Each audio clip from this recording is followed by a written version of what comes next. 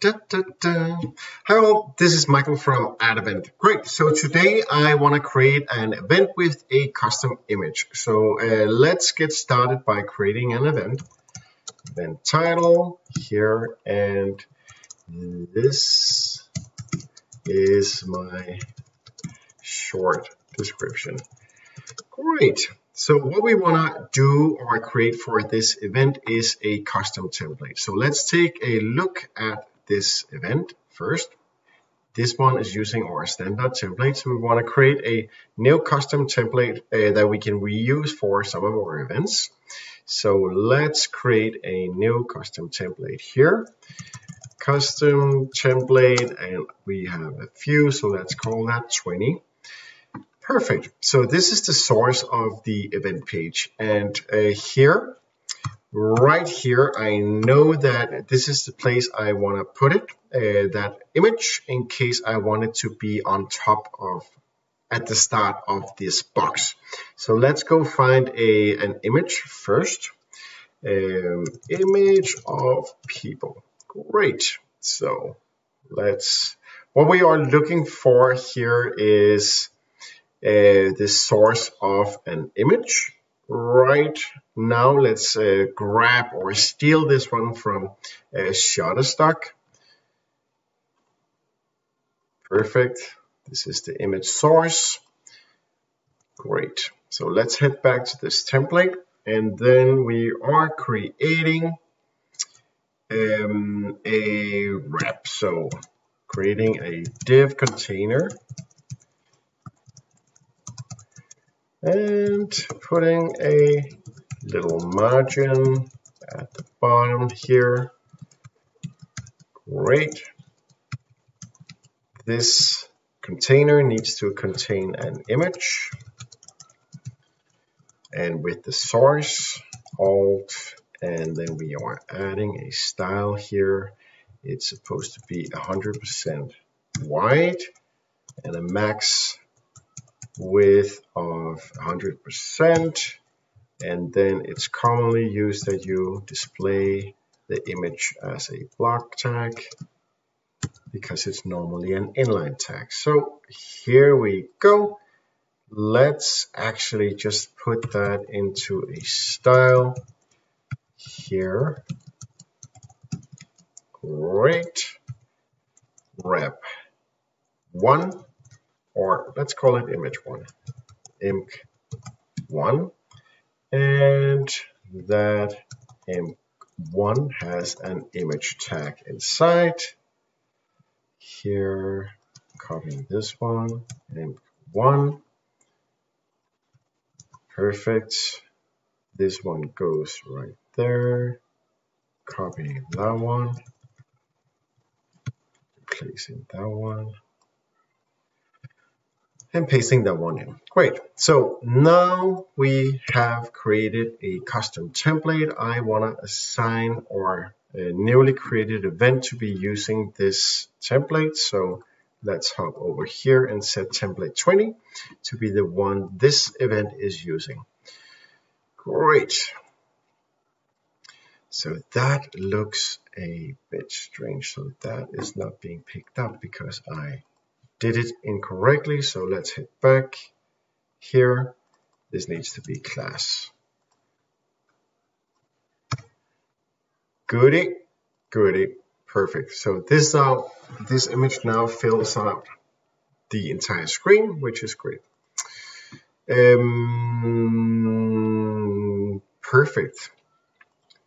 Since I am cooking up an example here, then uh, we are including this one in our help video, then let's put a radius on, on that container as well.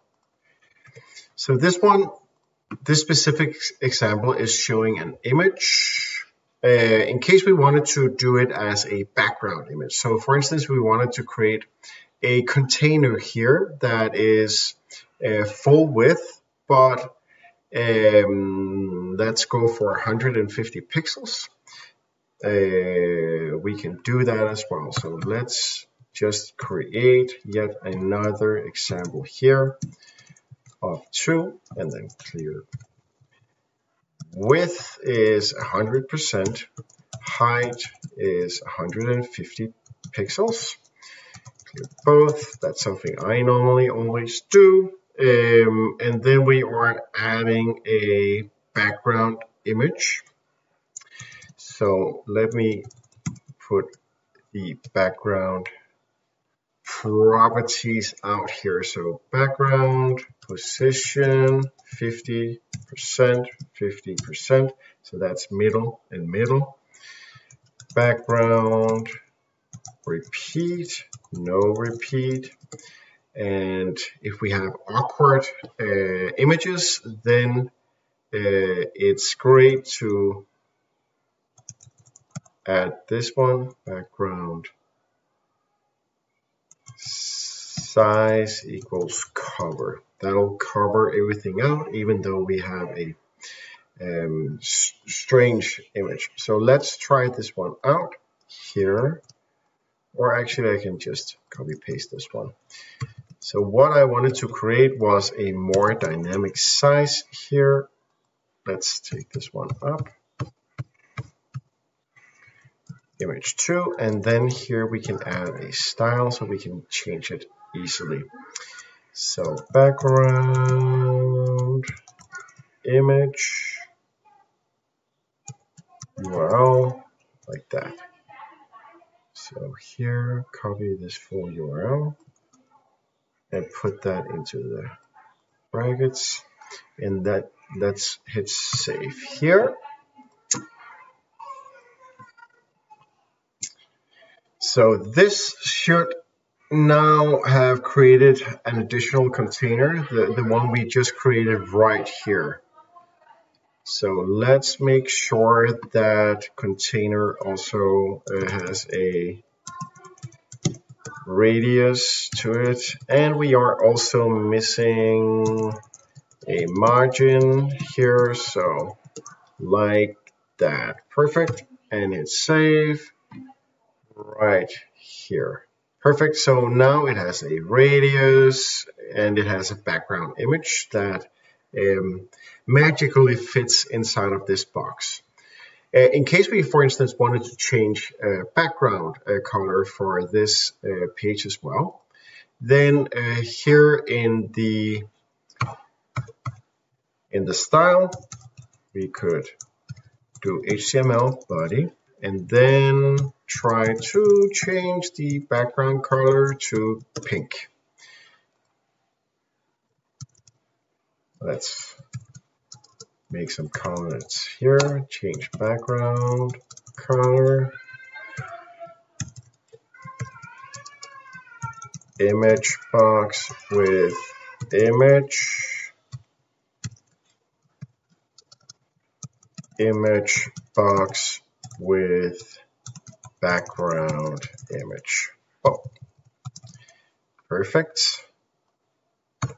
Hit save on that one and now we probably should see a pink background. Yes, so um, that's basically how you um, work with images currently in our system. Hope that's helpful. Let me know if you have any questions. Have a, a great day.